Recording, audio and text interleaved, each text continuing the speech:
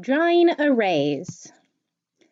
Today we will learn how to draw an array to illustrate a multiplication problem. So, how do I show the problem 3 times 4 equals 12?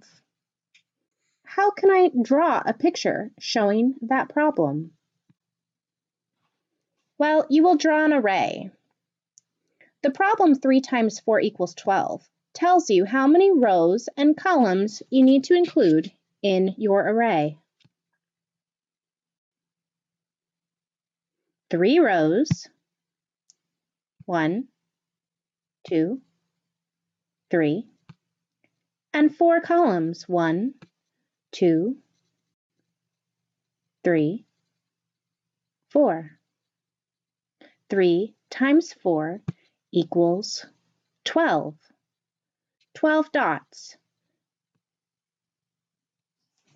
So let's look at this array. Three rows of donuts and four columns of donuts. How many donuts are there in all? Twelve. What about this array? What does this array show? 4 times 3. There are four rows and three columns. So how many cupcakes are there altogether? 4 times 3 equals 12.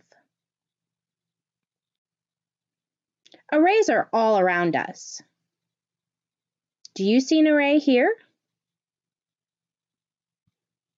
You should see 2 times 3 equals 6. There are two rows and three columns, and six in all. Here's another picture of an array. What multiplication problem does it represent? 2 times 6 equals 12. Two rows, six columns equals 12 eggs in all. What about this array? Five rows, two columns. 10 in all. 5 times 2 equals 10. This one might be tricky. Depending on how you hold a Lego, you will see two different arrays you might see 2 times 4 equals 8, or 4 times 2 equals 8.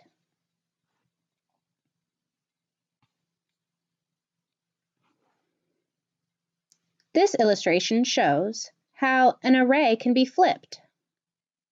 4 times 6 equals 24, or 6 times 4 equals 24. There are the same number of dots in both arrays.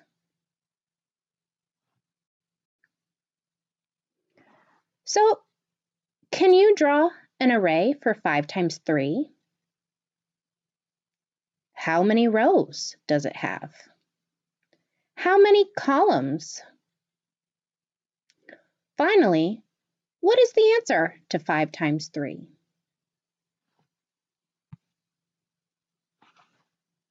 Here you will see the final array. There are 5 rows, and three columns, and altogether 15 dots. I hope you'd enjoyed learning about arrays today. I want to give credit to all my um, images.